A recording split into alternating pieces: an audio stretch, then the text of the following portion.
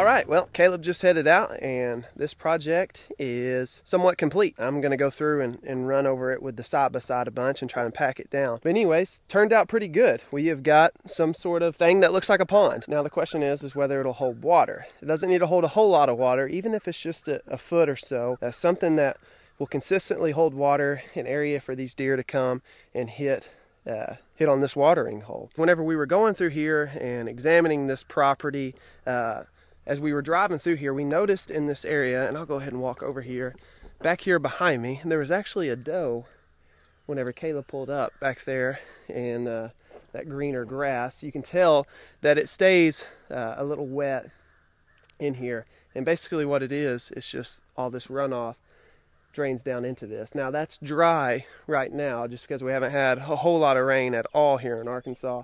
But you can tell that whenever it rains, this is probably the wettest spot on this thicker edge of the property. Now when we break this down for hunting application in my eyes, when it's a hot day, you know, got a strong south wind, the idea is to come to a spot where even on a hot day, deer are going to be inclined to move, especially if they're bedding within 100 or 50 yards of this pond in this thicker stuff.